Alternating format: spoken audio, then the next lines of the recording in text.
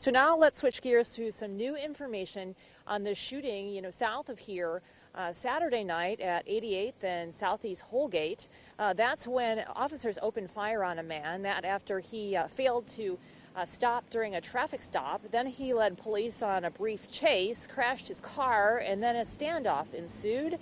Uh, we're still getting more details in about that. We also talked to neighbors who say that Portland has a serious problem with growing crime. Safety first for the people and everybody. Amber Geet Samara owns a gas station and convenience store just a few blocks away from the spot where police engaged in a standoff with a man barricaded in a car Saturday.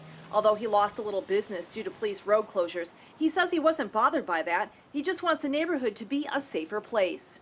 I just want the safety for everybody. If they close more, I don't care if the, you know, is up and down for the business.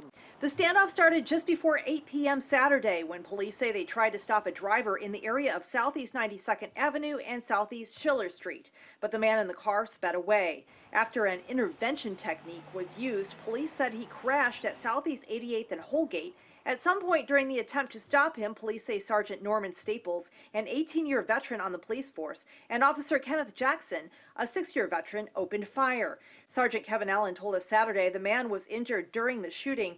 After that, an hours-long standoff ensued, and police asked residents to stay inside. After two hours of negotiations, the man was taken away by ambulance. Uh, last night we heard uh, gunfire, which is not uncommon for this area. We hear gunfire just about every night lately.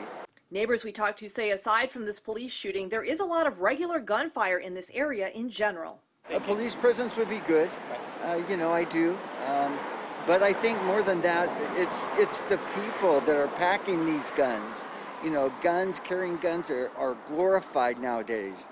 I think it's getting worse, you know. Yeah, we need to make more attention for the city city mayor or whatever the police chief, they need to be, you know, more attention around this area.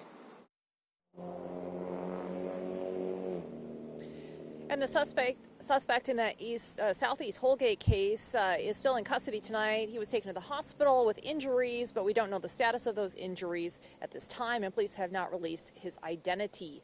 And again, back here on East Burnside, that shooting investigation is underway at this time. And as we learn more details, we'll bring them to you here and on KOIN.com. Reporting live in Portland, Jennifer Dowling, KOIN 6 News. Yeah, you can really hear the frustration in the voices of those uh, business owners and residents out in that area. Thank you so much for that reporting tonight, Jennifer.